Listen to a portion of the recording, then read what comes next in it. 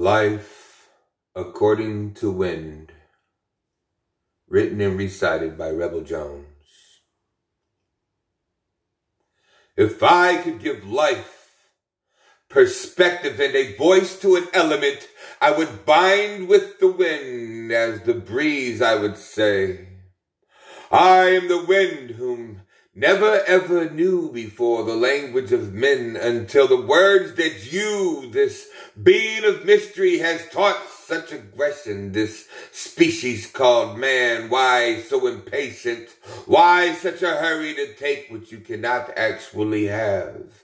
Immortality is more than a stretch, so hungry for power, so hungry for control, yet lacks control and power over self.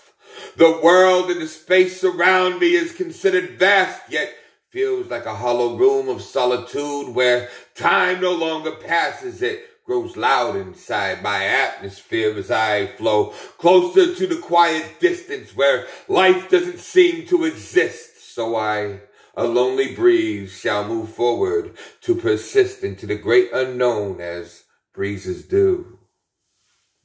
That's that peace. Thank you for tuning in. Um, thank you for listening. Thank you if you've already done it for subscribing. If you have not, please do subscribe. And expand your mind, people. Love y'all. Until next time. Peace. And thank you for waking up today.